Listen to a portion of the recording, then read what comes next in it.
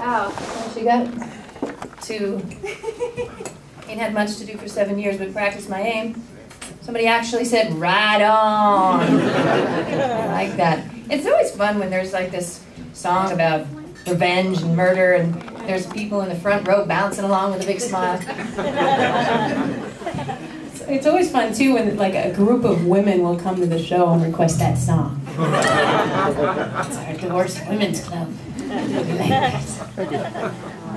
Good. So, but we do have some nice songs. Well, at least one, and that's coming up next. So, um, hopefully, you didn't come for an uplifting night. Yeah, nobody dies in this one. or gets revenge, or. The thing is, we do try to make everything kind of peppy and energetic. So even if lots of people die, you'll end up bouncing around. Whatever. We've had people tell us that their children know all the words to our songs, and all we can say is, I'm so sorry. So this next one is uh, going to be on our brand new album, which is coming out in a couple of weeks.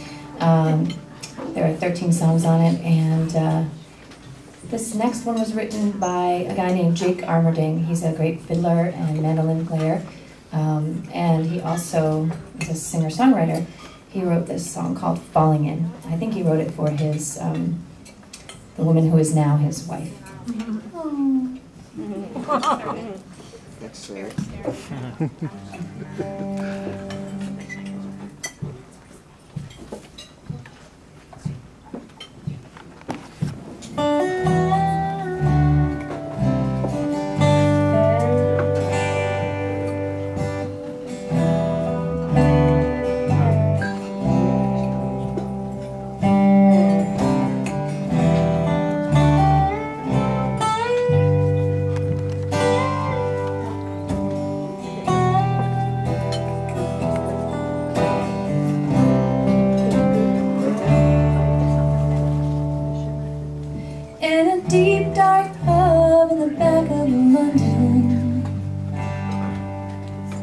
I fell in love and I lost my cool.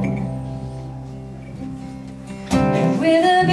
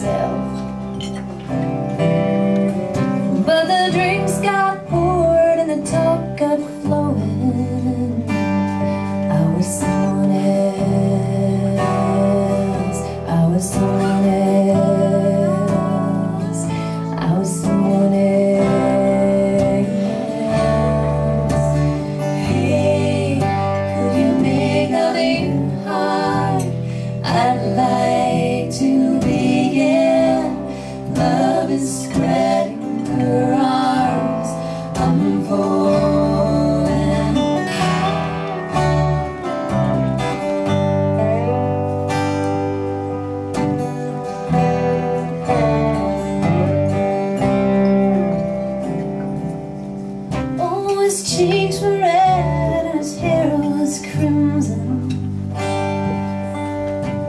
His eyes would laugh and his mouth would smile. I watched him like